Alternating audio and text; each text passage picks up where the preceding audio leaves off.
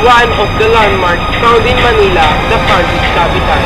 It has been standing for 69 years since it was inaugurated on August 1941 by Honorable Eugenio Rodriguez. Let's explore the history behind this work of architecture.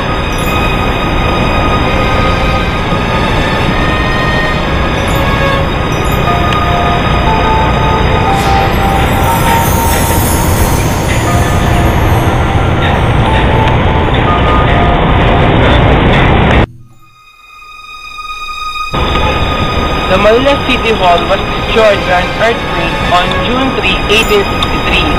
A second building was constructed on May 2, 1979 and it was called the Marble Hall. But unfortunately, flood hit Manila that leads to another destruction of the City Hall.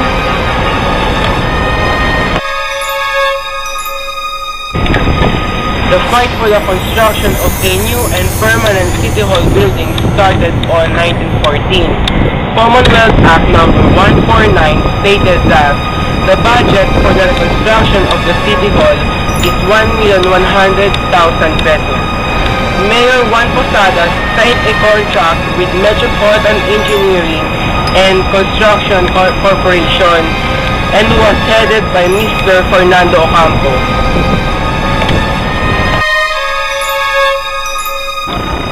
Finally, on January 4, 1940, the employees of the old City Hall occupied the new City Hall, and Eulogio Rodriguez appointed the mayor of Manila. During the World War II, the new City Hall was partially destroyed and was rebuilt last 1946 during the American regime under Philippine Rehabilitation Act of 1946.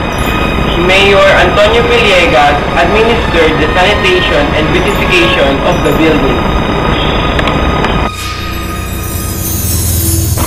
To define the identity of Manila as a Filipino city, that Bruno Villegas proclaimed in Executive Order 395 of 1965, Maharnilad as the official name of Manila City Hall.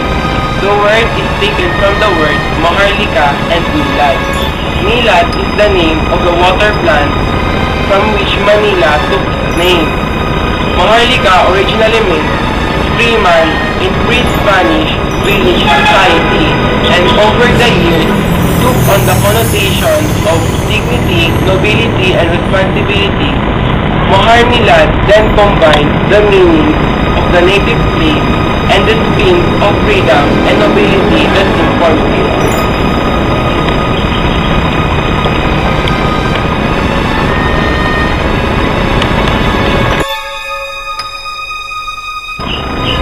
The Manila City Hall or Maharnilad is shaped like a coffin from the aerial view.